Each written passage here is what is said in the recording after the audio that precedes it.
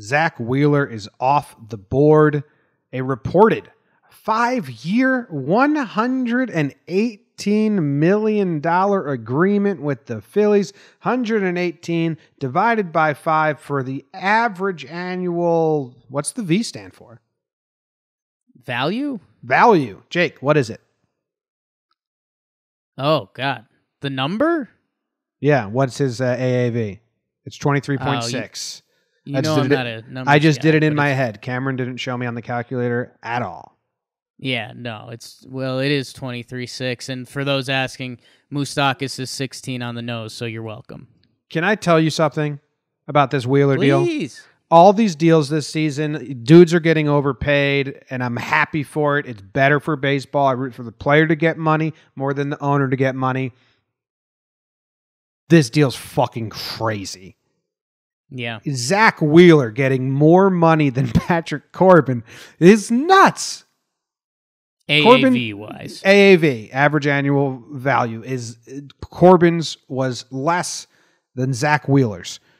I mean, a hundred million dollars for Zack Wheeler is nuts. We joked that you know we didn't. We joked that like if Houston grabbed him, they can turn him into Cole. So we do think there's a lot of potential because he's got the arm talent, he's got the raw abilities. Uh, he's like had Tommy John surgery, and that's way in his rear view now. So I think he's a good pitcher but like 118 million over five years. I'm kind of shocked and scared at what this does to the Cole and Strasburg deals, which were already high.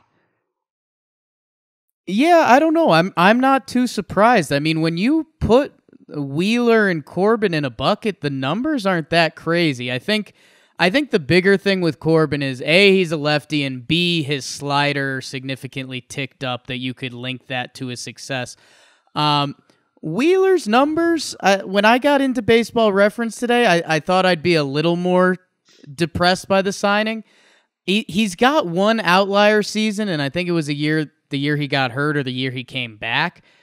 Otherwise, he's been pretty good. Um, but, but Patrick you know, it- Corbin had the benefit of being the top of his class. Like he was going to Right, get the much. right, right, right. And everyone was kind of in agreement that the Nationals overpaid for Corbin. Well, that's why our friend Zack Wheeler deserves to make a nice call to young Patrick because Patrick might have got Zack uh, a little extra cheese Yeah. Yeah. Because he Corbin had a really nice season and a really nice playoff run for a team that ended up winning the World Series. So that's that's exactly what uh, the Phils are telling themselves right now. And yeah, I, I don't know. I think injuries have been a thing uh, for Wheeler. Uh, maybe he's got a little bit of the Met stench. We'll talk about that at the end of the show a little bit. Um, yeah, I mean, right now you have to be, if you're a Phillies fan, you're excited for now, you're scared for the future. I think a lot of baseball people are shocked he got that kind of money, but uh, I don't know. I think this is uh, this is kind of it. He doesn't get that six year though, but we'll uh, we'll see. I mean, they need the Phillies need three Yeah, where- years where- out of Wheeler, and I don't I don't know if they're gonna get that. Say that again. You broke up a little on me.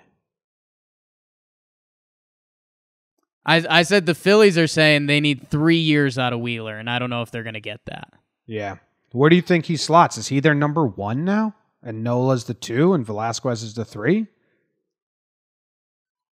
I think Nola's the one. Um, I think Nola had a slow start last season, but he's still the guy that's supposed to be um, kind of their rock. I mean, 2018 Nola was 17 and six with a 2.37 ERA. I, I mean, Uh, I agree with off- you, but it's just funny to sign this guy for this much and he's not your opening day starter. Yeah, I mean, I, I don't know. You could you could go different ways with that conversation. Opening hate- day starters. I hate opening days. I, I can't believe I just yeah, opening. It's it's overrated, anyways. I mean, you know, the Yankees traded for James Paxton last year, and it's that that became a whole thing. Guys ended up getting hurt, but yeah, no, I I don't think that's a thing. Um, but yeah, I mean, hey, good good for Philly, good for the NL East. Girardi, your dude. Joe's putting together a squad here. I mean, they got they got a pretty good group, right? They need maybe I don't know if the whole five pitchers are that great. I mean, you still got Velasquez, Eflin, and uh, a less than Arrieta, but whatever. They're competing. They're going out there and getting and, guys, so I like that.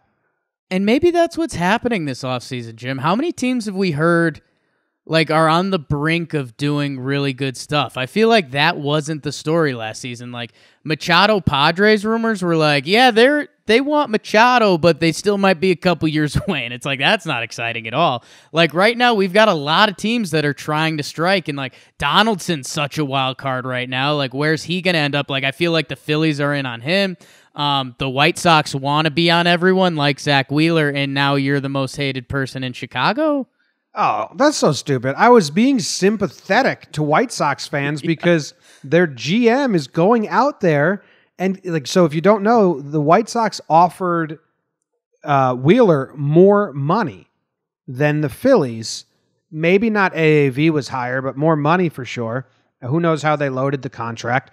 But he, he said no, he'd rather go to Philadelphia. And the reason that they're telling the public is because his wife's from New Jersey and uh, they wanted to stay close to New Jersey. But like, if you're the White Sox, you if you're the, I know White Sox fans are using that as like an excuse. Well, what are we gonna do? His wife wanted to stay in New Jersey. If you're the White Sox GM, you're thinking, "Fuck, what could we have done that we could have made it more enticing than his wife not moving?" You know what I mean? Yeah. Because a lot of teams have conquered the I have family close. You also can never give a guy shit if he says, "Oh, I, I need to stay close to my family."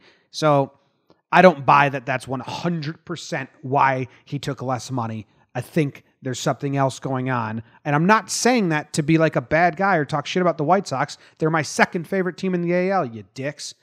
They were coming at me hard. And I was like, I didn't even insult you.